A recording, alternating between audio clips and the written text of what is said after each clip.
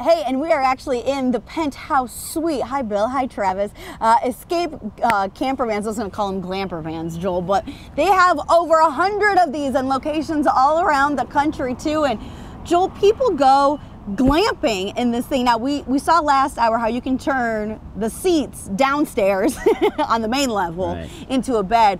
Where are we in right now? Tell me about this penthouse suite. Well, you can also add a rooftop sleeper for your trip. So if you want to even just have a better view where you're going, Yeah. or if you uh, are traveling maybe with two couples or a family, just gives you that extra space to stretch Sure. out and relax. And you know, I was what if my first thought was, okay, we stick the kids up here, right? Because you know, you, but it's actually kind of fun being up here. You feel like you're kind of escaping everything. Hence, escape camper van. Exactly. Yes, it's amazing how different the view is from up here versus just sleeping in the back. Right, right. Now you were telling me there's actually someone that's coming to pick up a van that's taking like a three month trip. How does that work? And how does that? How does someone afford that? Because I feel like that would be expensive. Well, it's actually when you rent for longer, the Mm-hmm. rates are a little different. Plus, uh, you don't have to pay an extra sales tax. Okay. Oh. But you're also saving money on your hotel. You're saving money on a rent a car. So That's a good point because it's a hotel and a rental car all in one, probably for the cost of less than just a hotel room in itself. that's right. And you don't even need a campground with this van. You can just camp uh, anywhere you can park in a national forest, for instance. Yeah.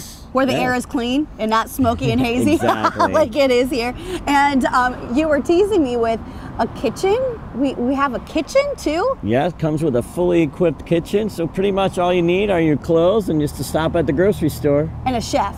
Do you supply those too? We don't supply the chef, but we can definitely give you some tips on how to make a really good meal instead of just opening a can of beans. Yes, all right, more on glamping, and we'll dig deep into that kitchen because we'll be hungry next hour coming up.